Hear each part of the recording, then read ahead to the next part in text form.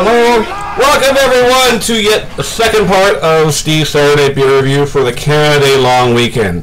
The long weekend in full swing. You should all be nice and drunk already. If you're not, you're too old. So go hang out with all the old people while we youngins will get on with the beer. So now that Canada Day is here, we celebrate patriotism and we have a beer fitting for the occasion for Canada Day.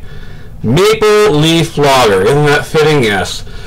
Uh, this was brewed in Oakville by Trafalgar Ales and Meads. We uh, reviewed their brewery before. They make good stuff, but it's expensive stuff. They use funky looking bottles. Personally, by the way this ball looks, I think they just slapped something together in a bottle and threw a label on it for uh, for patriotism. But you know, it can still be a good beer. We're gonna find out if it is or not.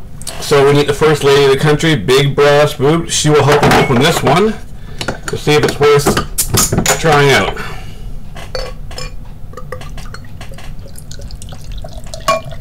Okay. Now it is a lager. It looks like a lager. Yep, it does. Well, it's um not too bad, but it's got a very odd taste to it. Um,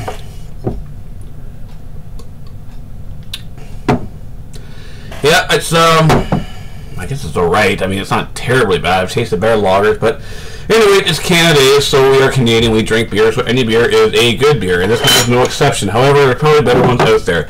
Anyway, I hope you're all having a good time. Enjoy the fireworks out there. Remember to salute the flag and all the rest of that stuff. And hope to see you all again next time, very, very soon. Until then, Jensen out.